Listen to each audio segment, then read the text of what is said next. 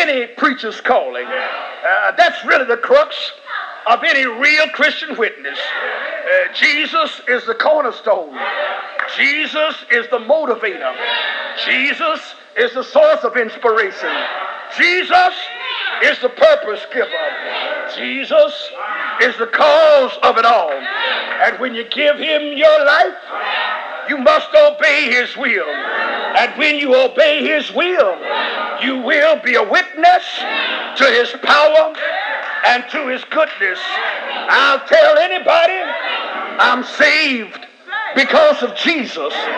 I'm sanctified because of Jesus. I'm somebody because of Jesus.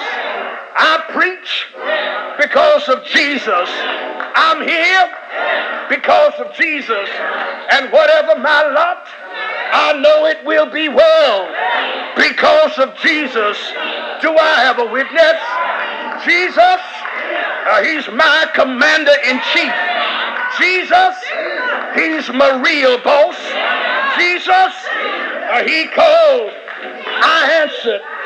Jesus, uh, he sit, I went. Yes, oh yes. And I'll tell anybody, I'll tell anybody anywhere. I serve somebody who is still the king of my life. When I last checked the deeds of the universe, I discovered that the earth is still the Lord's and the fullness thereof. And as long as God is in charge, I'll do what he tells me to do. Yes!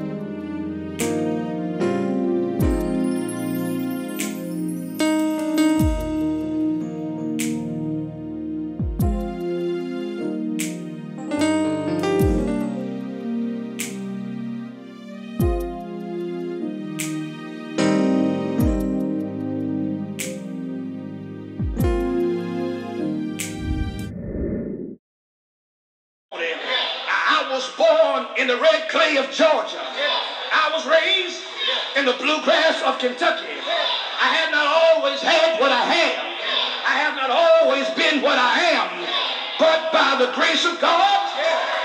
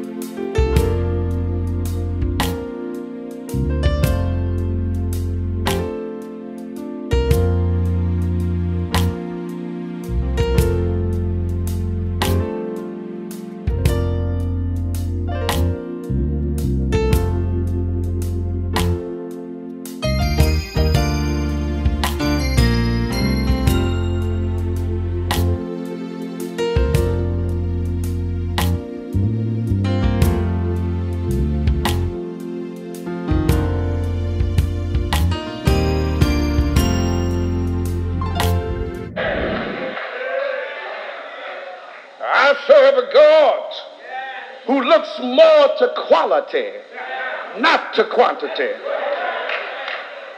And that's true in every historical age. I'm privileged of God to serve in the borough of Brooklyn in the city of New York. And some of the biggest churches in the world are situated in Brooklyn.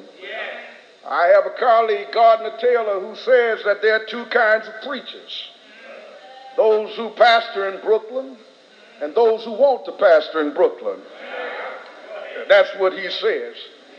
And I've come to realize that there are some folks who feel that big congregations in big church structures represent the ultimate in ecclesiastical service.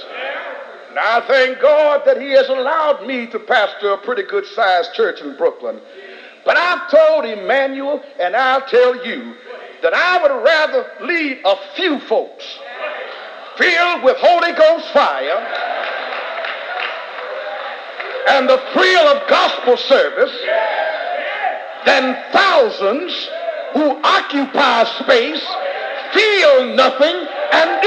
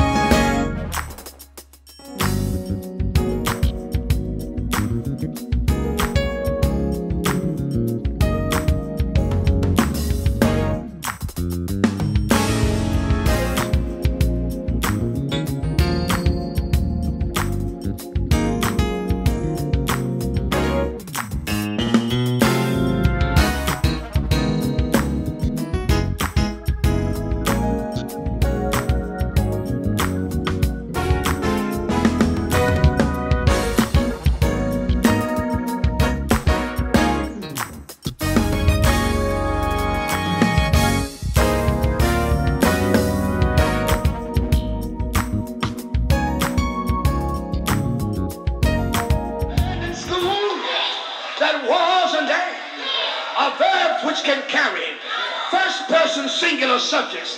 That's why you say, I was or I am. And what comes after these verbs, therefore refers back to me. Therefore, in the spiritual realm, this suggests that I cannot speak for you. I cannot speak for him. I cannot speak for her. I can only speak for me.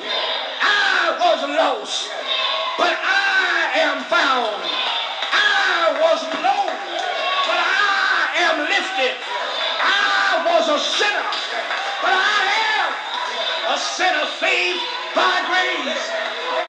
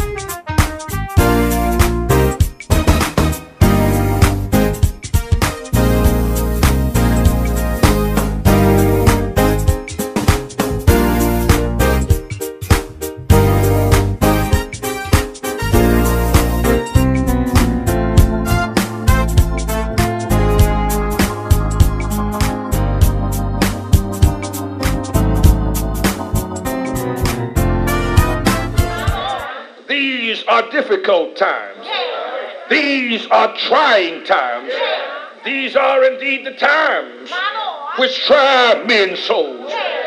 What do you see, brother preacher? Well, economically, I see where the haves have more and the have nots have even less. What do you see, brother preacher?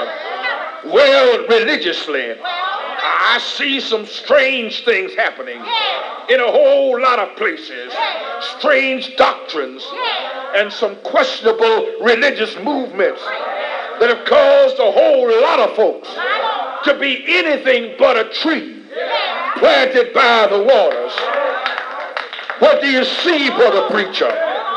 Well, scholastically, I see where many of our youth educationally undernourished. What do you see, brother preacher? Well, globally, I see where this world is still a ball of confusion. What do you see, brother preacher?